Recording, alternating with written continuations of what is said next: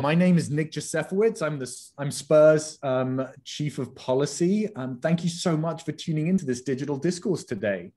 To provide a little background for some people who may not be familiar with Spur, we're a non-profit, member-supported organization that promotes good planning and good government through research, education, and advocacy. We put ideas and action together to make a better city and a better region. Many of you here today are members, so thank you for your support. If you're not a member, I encourage you to join to support Spur's ongoing work in making our cities and region more prosperous, sustainable, and equitable places to live. You'll find more information online at spur.org slash join. Our next digital discourse is next Wednesday, May 26th at 5 p.m. It is the future of California transportation policy. Um, over the past year, more people have changed where they go and how they get around than ever before. How will our state's transportation policy react? We're going to hear from the new chairs of the California State Senate and State Assembly transportation committees, Senator Lena Gonzalez and Assemblymember Laura Friedman, about their vision for the future of California's transportation policy. Um, and that should be a really interesting event. Um, today's discourse, which we could have actually titled that too, because the, people, the folks here could talk about that, but we're actually going to be talking about will California's transportation future be federally funded? Since the beginning of the 20th century, the federal government has issued funding to assist states in the construction and maintenance of highways and bridges along federal roadways as well. As well. Um, and in recent decades, these funding initiatives have expanded in scope to cover a variety of transportation related issues and have evolved into a multi-year comprehensive transportation funding, funding bills known as Surface Transportation Acts. The 2015 Surface Transportation Act, known as the FAST Act, allocated $305 billion in transportation spending over five years and is coming up for reauthorization. At the same time, the White House has centered sustainable and equitable transportation spending in its plan for economic recovery. How can these two opportunities dovetail to benefit California? Today, we're joined by a panel of transportation leaders, transportation avengers, transportation rock stars, I don't know quite what we're going to call them, um, who have deep insight into the Biden Harris administration's plans for um, as well as California for a discussion about federal transportation reauthorization and the opportunities and risks this reauthorization and the uh, and Biden's infrastructure bill holds for our state. I wanted to thank our partners at Bay Area Council, Friends of Caltrain, Seamless Bay Area, and Silicon Valley Leadership Group for co-presenting this event for us. And I'm going to briefly introduce our panelists. Um, um, CEO Philip A. Washington was unanimously selected CEO of um, the Los Angeles County Metropolitan Transportation Authority, LA Metro, in 2015. As Metro CEO, Phil manages a balanced budget in excess of $7 billion, is responsible for overseeing between 18 and 20 billion dollars in capital projects, and provides oversight of an agency with 11,000 employees that transports 1.2 million boarding passengers daily on a fleet of 2,200 clean air buses and six rail lines. It's always a little bit humbling to realize how much bigger LA is than the Bay Area. Um, anyway, um, Therese, Executive Director Therese McMillan of the uh, Metropolitan Transportation Commission, MTC, um, uh, also serves as the top executive for the Association of Bay Area Governments, ABAG. Therese previously worked for 25 years at MTC and for more than eight years as MTC's Deputy Executive Director for Policy before her 2009 appointment by then federal, by then President Barack Obama to serve as um, the um, Deputy Administrator for the uh, Federal Trans Administration in the U.S. Department of Transportation. I feel this bio was not is not accurate, Therese. Um, um and um, we uh, uh, she was um, uh, she was then promoted and to um, at USDOT, um, and then unfortunately fled to Southern California, for which we will forgive her because she eventually came back. Um, director um, uh, Director Toks Omishakin was appointed the 33rd director of the California Department of Cal- Transportation, Caltrans, by Governor Newsom and sworn in in October 2019.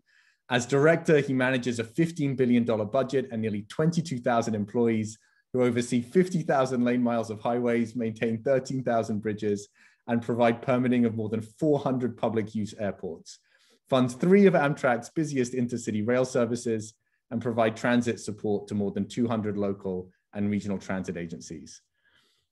Oh boy, there's just a lot of employees getting managed by the folks on this Zoom. It's really, really impressive. Um, so, you know, that's one of the things that um, to kind of open up the questions. That was one of the things that was really central to the past year is how do we support um, all the economic activity, especially the employees who work in our transit and transportation systems. And that was a real focus of, um, of, of the sort of the, the, the federal funding.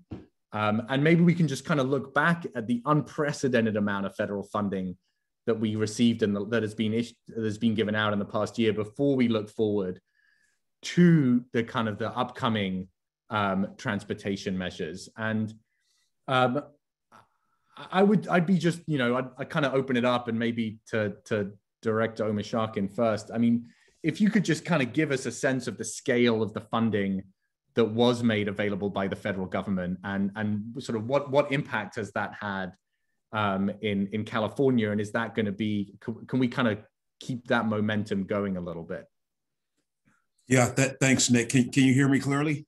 Absolutely. Okay, good. Perfect. Uh, very good afternoon. Good to be with you uh, and the team at Spur, the leadership at Spur. Thanks for uh, inviting the Avengers, uh, part of the Avengers team of transportation, to be a part of uh, today's conversation. Nick, the last time we spoke, I didn't know you were a commissioner uh, working with Therese. So now your your name moving forward would be Commissioner Nick. But thanks for thanks for the opportunity to to be a part uh, to share the stage again with my friends Phil and, and Therese look, I, I, think we're starting off on the right foot on this conversation. You, you have to kind of reflect back on 2020 a little bit uh, and the how we were hit so hard and hampered by on so many fronts uh, before we talk about uh, what's the opportunity uh, in front of us looks like. And we, we got a, a lot of money. It, it's I don't think it was necessarily everything we needed, but we got a lot. And l- let me just kind of break down, and, and Therese and, and, Phil will be able to explain probably a little bit more detail uh, on some components of this, especially the transit side. But but big picture, uh, what we the money we got was what we call relief money. Uh, it was not a stimulus. A lot of people get those two things mixed up. Some people think, uh, you know, we were getting stimulus money. No, this was a relief to make up for the shortfalls, the deficits that we were facing that were pretty significant. On the highway side, we saw nearly a 40% drop in people driving. On the transit side, it went up to 90, in some cases, 95, 96% drop in ridership. Uh, but the, the money we got in California on the highway side was roughly $912 million. Uh, the relief money that was passed for the entire country was 10 billion. So we got nearly 10% of that uh, at uh, $912 uh, million. And the plan moving forward, working with the CTC and, and partners across the state and CalSTA, the plan moving forward is that we're going to split that money 60 40. 60% of that money is going to stay with the state, uh, Caltrans, to do projects. 40% of that money is going to local government uh, to do projects that they need as well. But again, this is this is money to make up for those drops in revenue that we also are not stimulus money. I think that's an important distinction. And on the transit side, we got roughly $10.3 billion, uh, which is a lot of money. But when you think about the fact that there are more than 300 transit agencies in the state of California, and some people saw up to 95, 96% uh, decrease in ridership, you know, it's, you know, it's going to help. Uh, it's helping, but it's not uh, the full picture of what we need. So, uh, and it's hard, by the way, it's hard to estimate how much the shortfall on the transit side uh, really was. But it's making a difference already as as ridership starts to slowly pick back up as everybody gets vaccinated uh, uh, across the state. But big picture, that's what the highway side was: 912 million. Transit side, 10.3 uh, billion uh, dollars. Um, and and and Phil, from your perspective as, as such, such a large transit operator, it, you know, sort of having to like put buses and trains out on the street every day, how i mean sort of reflecting back on this past year Um, and maybe also thinking forward. I mean, is is did you get um, was this infusion was this relief enough to kind of be able to kind of keep your to, to keep services going and and are you looking you know do you think this is going to be able to kind of set you up as we start coming out of the pandemic to be able to continue to, to sort of get back to levels of service that, that you were offering before um, yes well before i before i go there let me also uh, say i'm happy to be on this panel with you commissioner nick and uh, and my friends uh, uh, Therese and Toks. Um, yeah, I mean, I, I, think it was it was good. It was a shot in the arm uh, for us. Uh, we briefed our board early on during the pandemic, at the start of the pandemic, uh, and made some estimates on our revenue loss. Now that includes, uh, as Toks was saying, uh, uh, for us, primarily sales tax revenue loss. I mean, obviously, when you have a shutdown of restaurants and and you know the wholly, you know, pretty much the entire economy all over the country, but uh, here in LA County, which is the most populous county in America, um, you know, just to give you an order of magnitude, restaurants um, make up about 15% of the sales tax revenue that we collect. And so when you have a shutdown uh, of, let's just say, restaurants, uh, huge impact. Uh, we made an estimate that our revenue loss would be about 1.8 billion. Uh, that was uh, at the start of the pandemic. We briefed that to our board and said, "Hey, this is our estimate of revenue loss," and we were pretty close uh, in in that estimate in that prediction. The CARES Act money, the the CRRSA Act money, uh, that we just um, uh, sort of processed um, has helped us. Um, so we're not quite at that that loss at 1.8, recovering that just mm-hmm. yet, but we're getting close. In the CARES Act, um, uh, this region got about 1 billion, about 1.06 billion, I think it was, uh, that we had to distribute, that we did distribute to the smaller operators as well since we're the direct recipient. Um, but uh, it, it has helped us. We incurred a lot of expenses, obviously, uh, as well. So you, you've got the sales tax revenue loss, which is uh, the majority of our um, revenue. Uh, but we also uh, had to pick up PPE costs, you know, for PPE and mask and all of those things, our enhanced cleanings, uh, and we also lost fare revenue. Uh, and so we we had those uh, expenses that we had to, to pick up plus the sales tax revenue loss. Uh, but yes, um, it was a good shot in the arm. It has been a good shot in the arm. Uh, I think we also had a good opportunity to look at what could be uh, with regard to taking cars off the road. I mean, I could actually see the Pacific Ocean from my window. The air, the air quality was that much better.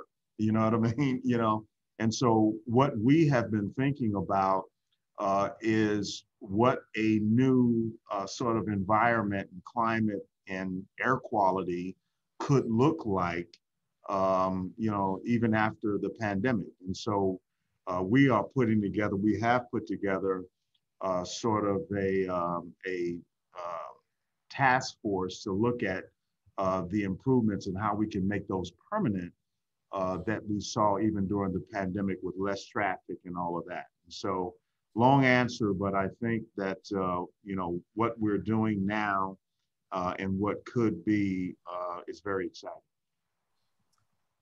Um, and it's, I mean, it's a great point about the additional costs that transit agencies have had to incur during the pandemic, and that's something that it's it's sort of easy to overlook. Um, so, so looking forward, um, um, you know, there's the big picture over the coming years. There's the possibility that there's going to be two major transportation bills being discussed. I think the the line that the secretary uses is the secretary Buttigieg uses is like we're going to make sure that infrastructure week in Washington isn't a joke anymore. So presumably that means that there's going to be a little bit of momentum to pass one of these things. But Therese, one of the things that's really interesting about this is that infrastructure is now coming to mean something different. It's not in in in as part of these infrastructure bills. It's it's not just kind of concrete in the ground or, or rails on a track. It's kind of a more holistic understanding of infrastructure. What's kind of tell us about that and and how big of a change is that actually um, going to be? Yeah. well, I can certainly reflect on a couple of things. You know, one being my time in the federal government under the um, Obama administration, where there was, you know, a really conscious um, focus on multimodality in ways that I think that pre- previous administrations really hadn't focused on. This idea that you can break out of your own little silos. Sort there's the highways with FHWA and transit with FTA and you know airports with commerce and whatnot to this idea that we you know they need to work together in a comprehensive network. And that was really exciting. But beyond that what was really at the time on the bleeding edge of thinking was maybe US DOT could work with HUD, who could work with EPA on this notion of sustainable communities, right? And that was kind of at the the time kind of you know mind bending and while i was quite involved with it and there was definitely some um, gains to think through in terms of can we coordinate our policy? Can we coordinate our funding? Can we coordinate our priorities? Um, it, it I, I would say that was put on pause with the following administration to a large degree but is coming roaring back i think with uh, the biden harris administration. And one of the things i think that drives that nick was the lessons learned out of the pandemic. Because one thing, and, and I, I'm going to pick up with what Phil said. He said, we got a shot in the arm with, you know, the COVID relief funding for transit. But think about that metaphor. One of the things that is going to drive our coming back will be how the vaccines work in terms of restoring confidence in literally getting back and living in a new normal world. And so I, I remember, um, you know, think a, a, discussion I had with Dorval Carter, dear friend with with some of us, who is the head of the Chicago Transit Authority. He used to work with FTA with me, and he said, you know, this was early on in the pandemic, and we were, you know, talking about how we were using the first run of cares and whatnot. And he said something that stuck with me, which was, "This is all great." But if there isn't enough funding to bring back Chicago, CTA will never come back. And this was at a time, as I recall, the CARES Act didn't have as much funding for state and local government and, and whatnot. And that's been building up and was absolutely present in the ARP. So, one of the things that's been fascinating to me about lessons learned out of this, uh, you know, for the federal view, as you say, looking through the front windshield is this notion of intersectionality in terms of how do things work together, how we need to simultaneously invest in infrastructure, not only a broader definition of infrastructure in mobility, which is now broadband, absolutely. I mean, that now is, you know, indis, you know, indisputably part of, you know, what a new mobility format looks like but things like with climate change, which you know the Biden Harris is very much in front on, like levees. Like, is that going to be a core part to protect our transportation infrastructure and become an absolute must have in terms of how we invest and when?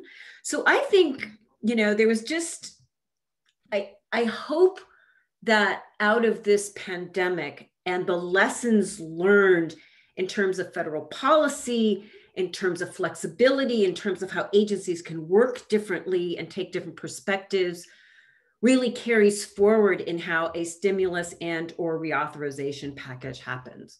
It's very exciting.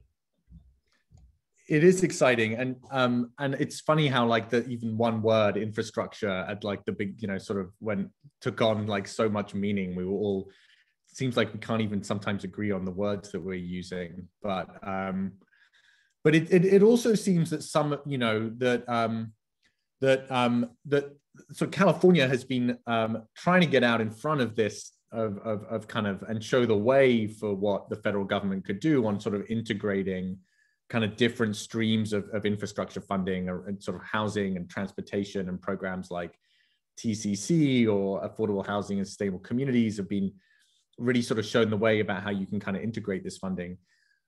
How would you say, Director Omishakin, that um, that the sort of the federal funding is is sort of aligning with California's goals, especially around climate equity and and and public health? Despite all the rhetoric, rhetoric, are we going to still see like eighty percent of the money going into highways?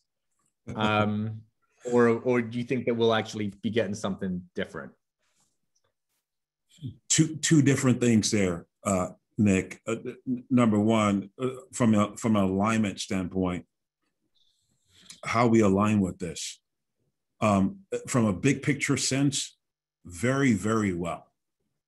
Um, I think uh, the conversations that are finally taking place nationally California is a little bit ahead of where a lot of states probably are on this issue. When it comes to issues around, for example, climate, we've had multiple governors in a row who've made issues around climate and the connection to transportation specifically, they've made it a priority.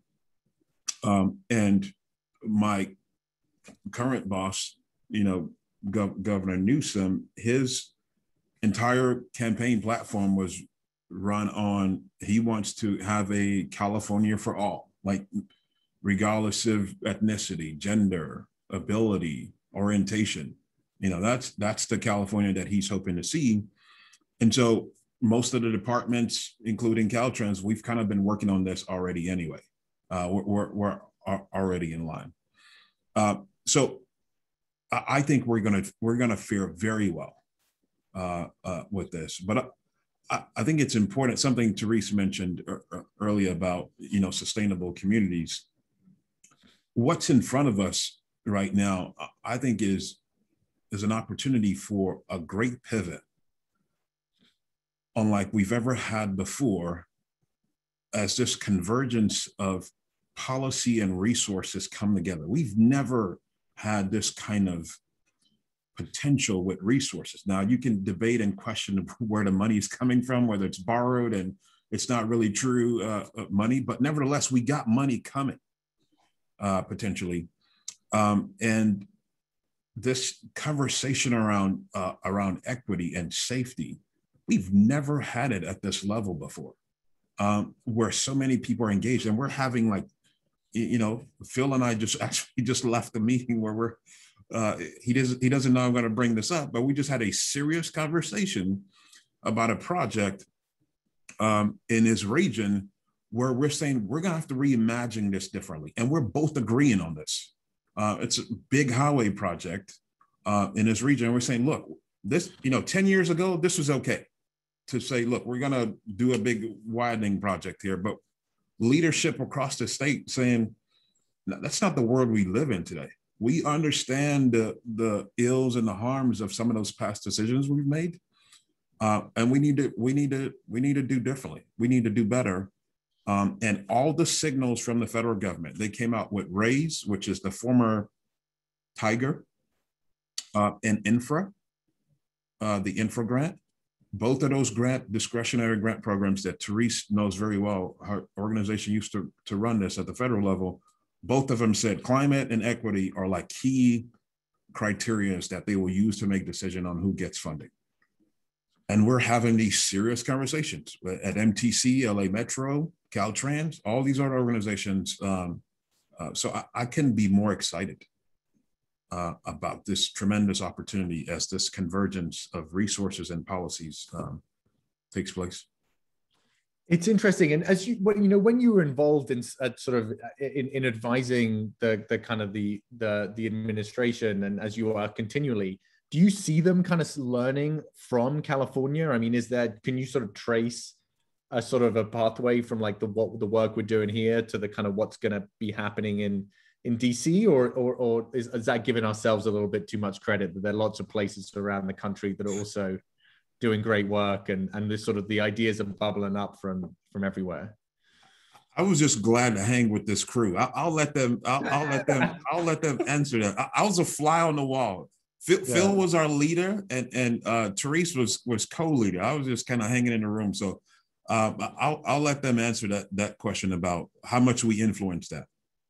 Because it's you know, and maybe Phil, you can if you want to if you want to talk about this or like just generally because I know those those a lot of those conversations are confidential, but um you know one of the things that we because uh, you know one of the things that we talk about is we think about as spur and that a lot of others in california think about is the impact that we can have is obviously on the communities that we serve but it's also sort of setting the standard for for other for, for the rest of the country and for the federal government and it's sometimes difficult to know whether that's just like us blowing hot air at ourselves and thinking we're real swell um, and whether that's actually kind of true. And I, I just really interested in your perspective, sort of having obviously been doing such amazing work at LA Metro and leading the country in things like free transit and other things to just understand whether you think that that is true, that some of this work is kind of being influencing the kind of what's happening at the federal level.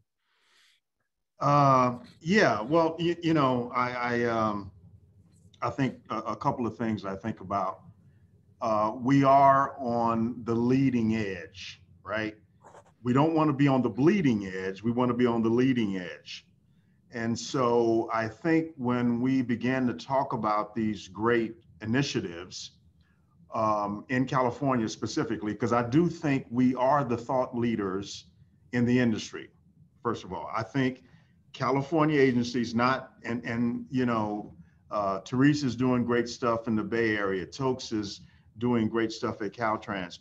We are the thought leaders for the industry, and I will be the first to say that. And I'm not talking trash, okay? Uh, but, we, but, we, but we we are some bad folks in a good way. Um, uh, but I, I, think with these initiatives, I mean, you know, we've got uh, we're leading the country on uh, on on EVs, right, and and sort of renovating or or or transferring from, uh, in our case, CNG, clean natural gas, to electric vehicles. Um, we are talking fareless transit. Uh, we are uh, talking uh, next gen in terms of our bus system, revamping all of that. So we're on that leading edge and we are being considered. I mean, we are being looked at on the federal level uh, for these programs. Now, I believe that with all of us on that leading edge or doing these great things, that the federal government should look at us as pilot sites and fund the promotion of these concepts, right? Uh, it's just like a, you know, proving the various concepts. Um, you know, in order for this to be sort of replicated on the national level, I do believe that there should be funding to help us with that. That's the first thing, uh, because we're proving the concept. Uh, the, the other thing is most of these things and concepts are local. These are local. I mean, most of the great ideas come from your local areas, and then they are perhaps adopted, um, you know, at the federal level. I mean, you know, when we, I was happy to see just yesterday that local hire has just been reinstated. Uh, this is one of the things that we were uh, beating the drum on uh, during our work on the transition. Um, uh, the three of us uh, were really beating the drum. And yesterday, or maybe today, um, you know, the program has been reinstated. Uh, and so I think that people are hearing, uh, you know, the cries in the wilderness from California in this case, um, on various things that should be replicated.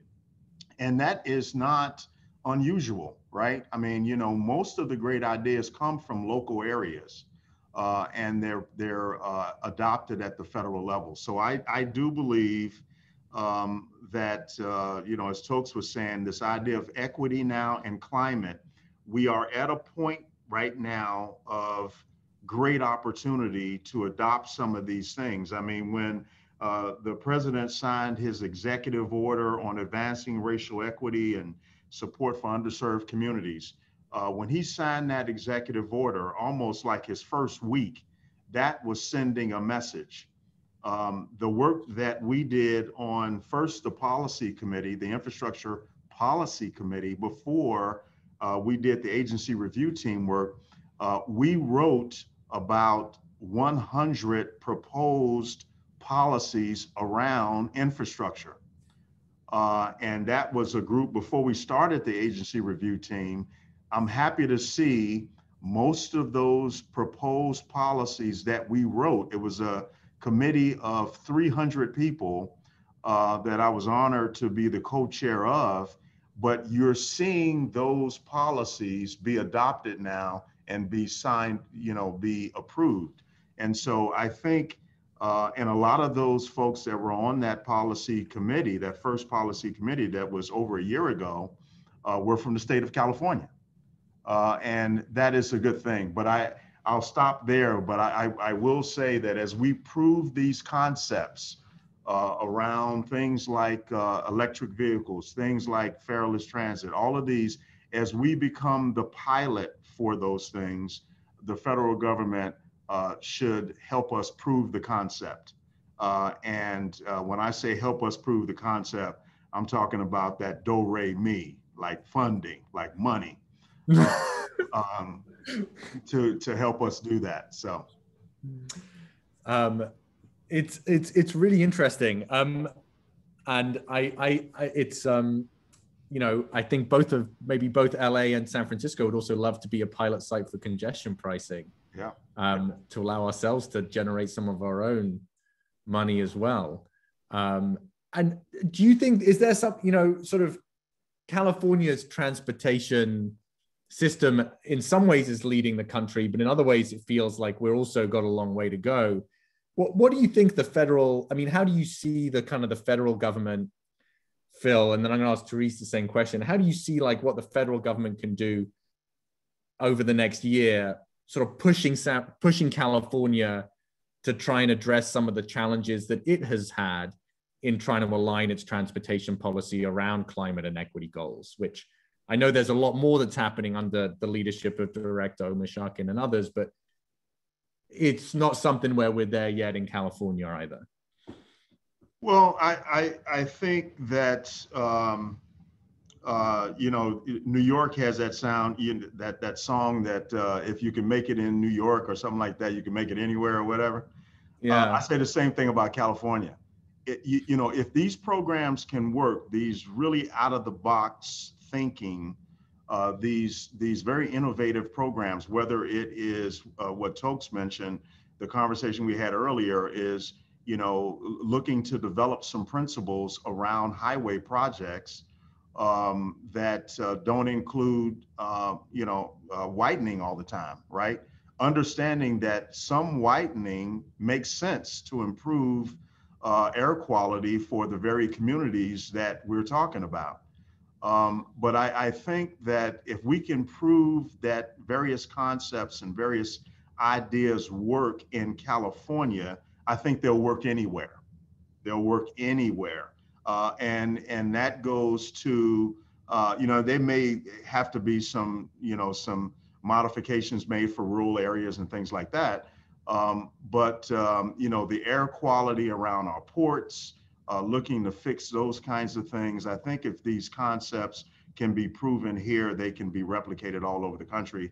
And I think the federal government understands that uh, and that is why uh, many of our programs are being picked up uh, all over the country. So I, I, think we should still keep beating the drum uh, mm. and saying that um, um, you know our projects do work and that they should be replicated elsewhere. Yeah. You know, it's it's it's funny because I, I just got to jump in. You sound almost like you were born in California, Phil. you know, Chicago, Denver guy, right? You know where I'm from, South Side.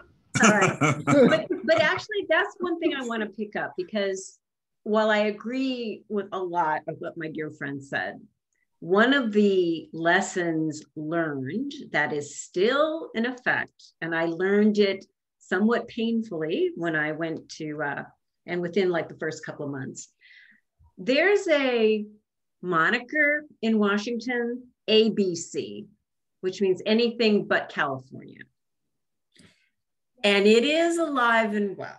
So, on a political level, one of the things that's the challenge is there's a balance between leadership and arrogance. and I think that one of the things that we, the state of California, and for all of the enlightenment and innovation and capacity, we also need to own the fact we're living in the state where we have some of the greatest wealth and income gaps in the entire country. God knows in the Bay Area, that is undisputed. And so there's definitely a sense of don't feel too entitled by the fact that you actually have the capacity to push and do these innovative things. And maybe Mississippi doesn't. But in national policy, you got to think of Mississippi. And I learned that really quickly. So, one of the things that I think is really important goes to the point that Phil said is to remember that when we come up with these innovative ideas, being able to continually communicate how they can work at a community level and any community, that we don't just talk about Los Angeles and the Bay Area, but we talk about Fresno and the Central Valley and the poorer areas of our state as well, and what we're doing to improve and lift them up too. Because one advantage that California has is that the diversity of this state, good and bad, is very much a laboratory for, you know, the uh, diversity that the nation sees. And I think we need to play that narrative as well because there is a responsibility not only to show what we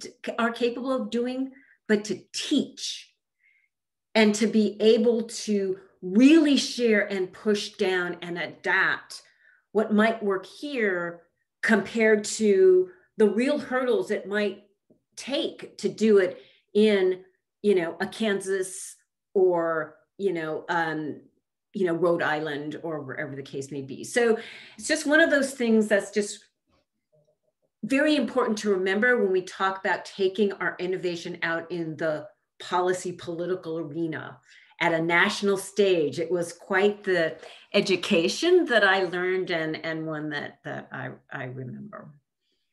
And so sort of like building on that, what do you what, like given your experience, you, you know, you were in the Bay Area and then you went to DC and you kind of, it, what do you think that that this what, what do you hope for this kind of infrastructure package or set of infrastructure packages what do you hope that they can help us do differently here in California, other than just kind of accelerating the work we're already doing? What would you hope the federal government could really sort of push us on to do better, either on climate or equity or, or, or other things? Well, I'll, I'll jump in and would love to hear certainly from from Toks from his perspective as a you know a state agency.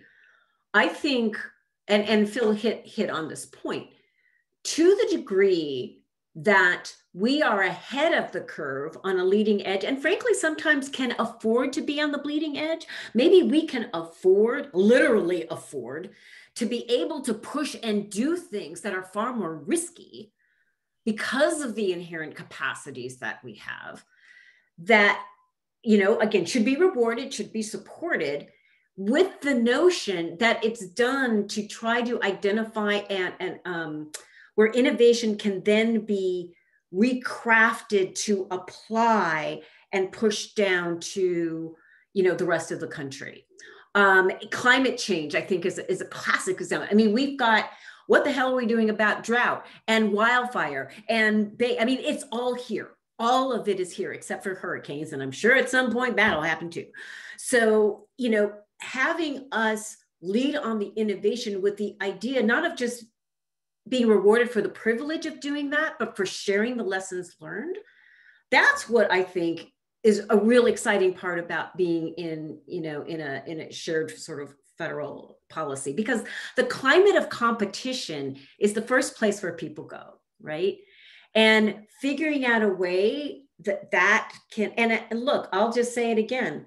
The fact that in public health in the middle of a pandemic we were able finally to step up and provide vaccines for free okay, for free with a focus on those who most needed it. That was crazy. I mean, that was to me one of the most incredible lessons coming out of this pandemic that made me really proud. And, and thank you, you know, Joe and Kamala for leading that. And it took us a while the hell to get there. But once we got there, that's what is, you know, it's that energy that I think California could play, for example, in climate and the like. So just a thought. Yeah, I, I, I, definitely when my wife and I got vaccinated at the Kaiser at the um with Kaiser at the at the the Moscone Center in San Francisco, we both started crying because it was like it was government at its like most beautiful. It was like you it's like when you sort of first walk into something like, you know, Union Station in DC or something, and it's just this like you feel that what was happening was that people were so proud of what they could accomplish together, not on their own, but what they could accomplish together. And they built these monuments to that dream that like we can do so much more together and that i don't know that that's we we sometimes lose that and and yeah um i so um anyway away from my tearing up and my emotions back to the matter at hand um so um you know um director Omishakin, you're you know in in dc active transportation walking and biking is often not considered transportation. um, that I don't I don't know what they consider it, but it's um, and and it's and the federal government has really sort of systematically underinvested in those types of um, in in those types of investments. Was it seems like we could be at a moment where where that's changing, and certainly Secretary Buttigieg talks a lot about the complete streets that he built in um, when he was mayor. Um, do you see that kind of shift happening? Was that sort of a an active conversation um, that you were participating in? Um, and uh, and do you think there's, or, or do you think that's like ultimately we're going to revert to to the to the sort of the norm on that one? No, we can't afford to do that, Nick.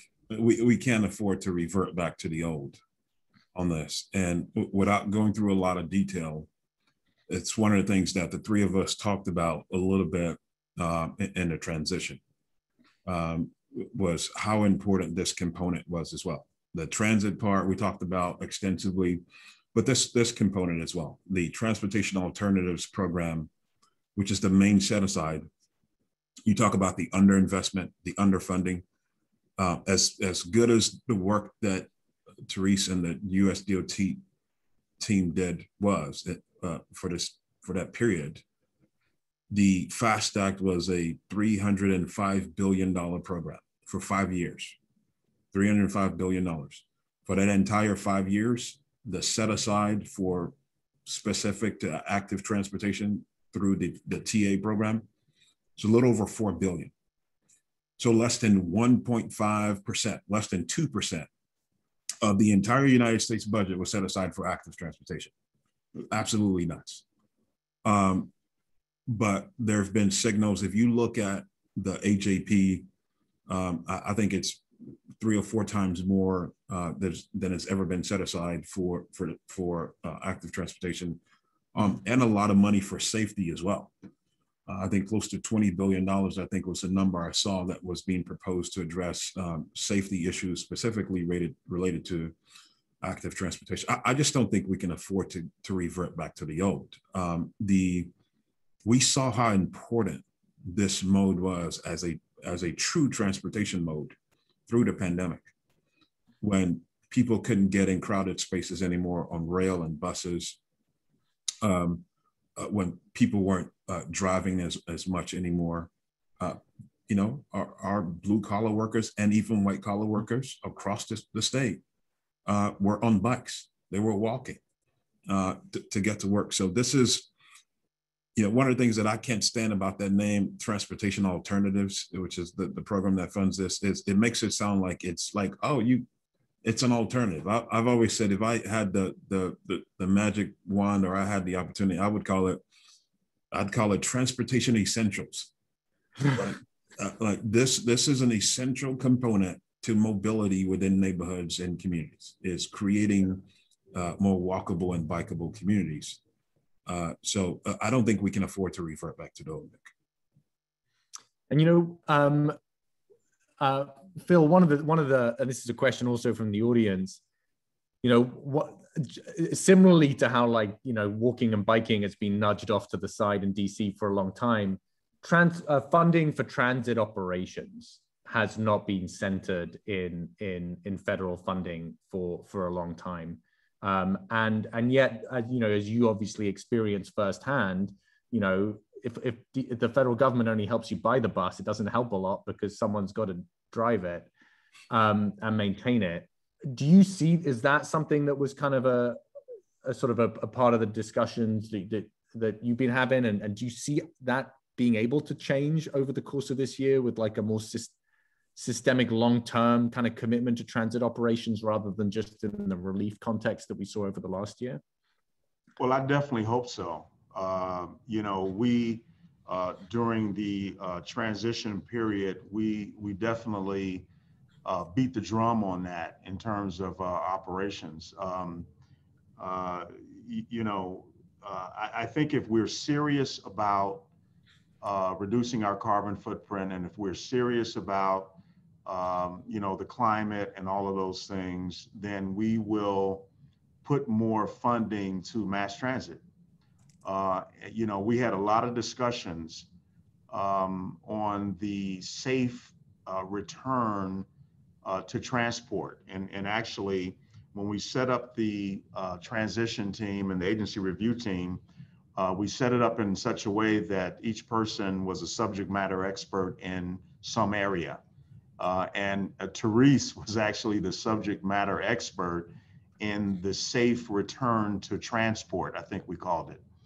Uh, and uh, we uh, put together some thoughts around that in our deliverables to talk about how, um, you know, we should um, create you know, various principles and various thoughts around the, the safe return to transport. So I think in terms of operations, absolutely, uh, there should be uh, money dedicated to that. There should also be funding dedicated uh, in a big way to um, a state of good repair.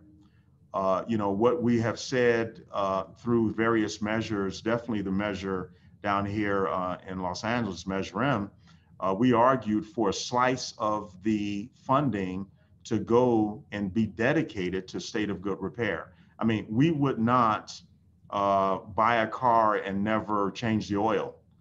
you know, I mean, th- this is you know one of these things where um, uh, the federal government, I think, uh, needs and I think will uh, pay attention to transit operations and fund that. I think it's absolutely essential if we're serious about uh, getting people out of their cars and single occupant vehicles. So yes, I think I'm optimistic, and I think it will it will happen. That would be amazing. Um, I, it's just inspiring that all of you were kind of the ones, and these ideas were kind of centered in in the discussion around the Biden administration. Um, you know, a question from the audience, which I think is really interesting, and I'm going to just keep on rotating around. Therese, um, and anybody else can answer this one too, because do you think the changes that we're seeing now and how the Biden administ- Biden Harris administration is approaching these issues, do you think it's because the public perception has changed? Do you think it's because the average kind of you know American in their car is sort of changing how they think about these issues, or do you think it's that there's now just a greater understanding from like transportation professionals um, and others who are influencers about the right direction to take? and uh, and and and that's what's kind of influencing this quite dramatic change in kind of in uh, in in sort of objectives for for this infrastructure package compared to the last. I think it's both. Um, insofar as you know, a lot of the studies and academic arguments and whatever aren't new.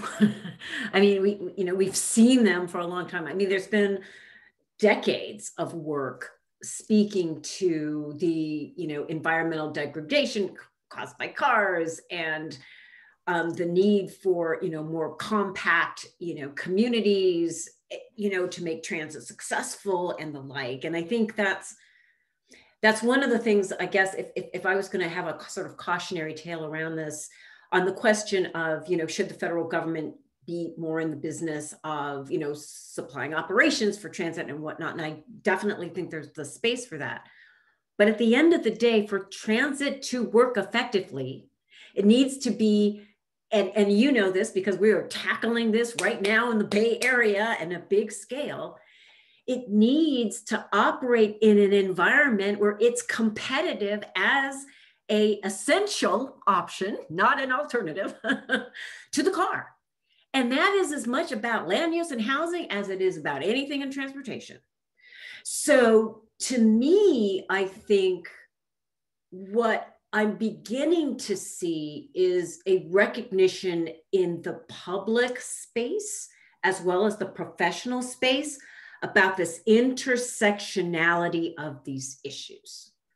That to me is what's exciting and different that you're not that the fact that people can see across um and and, and uh, across mode uh, not even modes uh, of disciplines and and see how these elements of our society really need to work together in order to advance a you know a, a improved outcome particularly for those that are most vulnerable.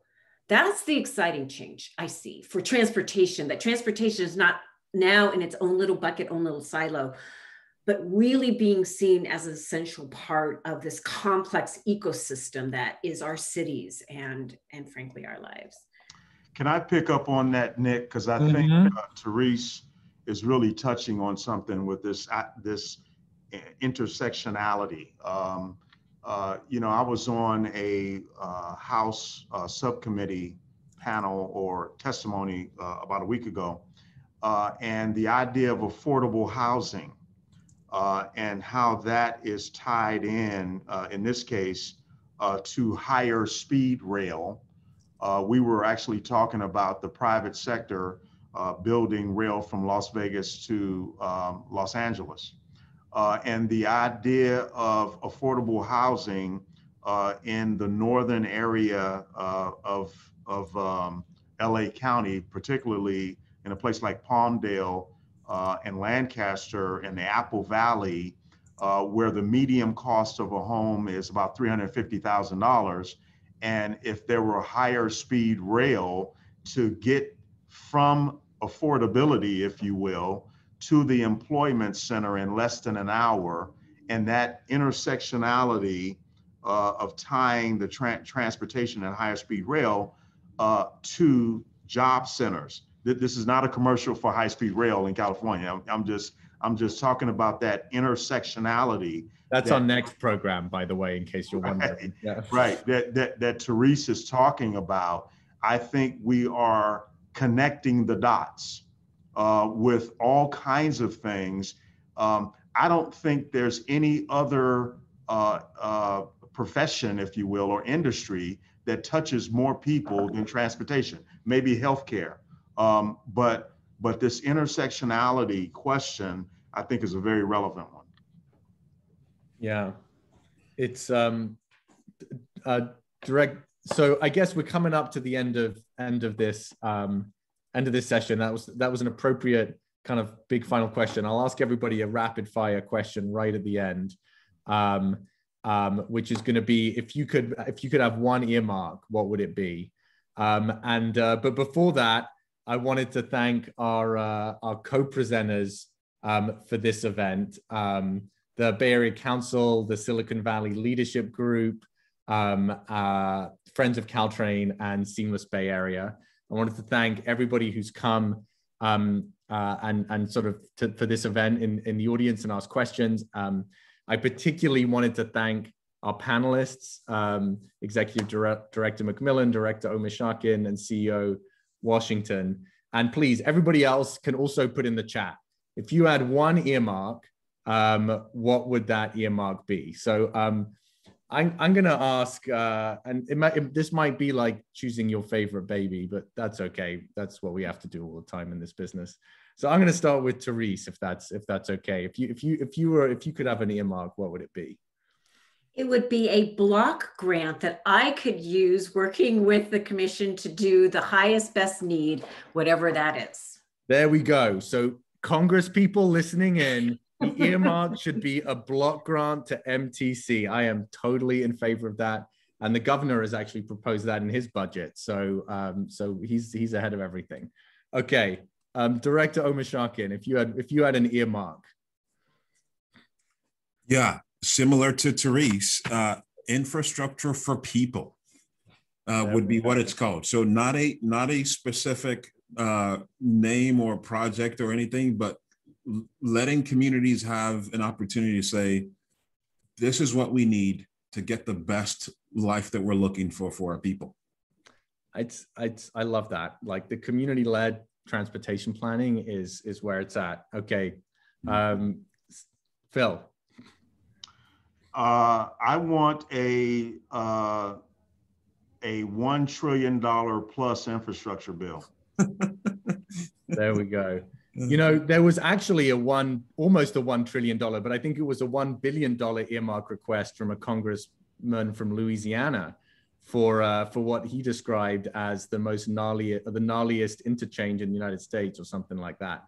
Um, so I'm gonna, um, if um, if uh, if I could answer my own question, if I got if I got one earmark, I think it would be for a bus lane on the Bay Bridge.